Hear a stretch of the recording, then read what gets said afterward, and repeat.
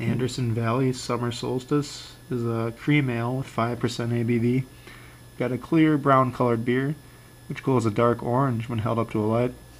The internal state is fairly active. A medium sized tan head tops it off. Nose has smooth caramel malts, some nice fruit notes, a hint of vanilla, and just a touch of a grassy hop.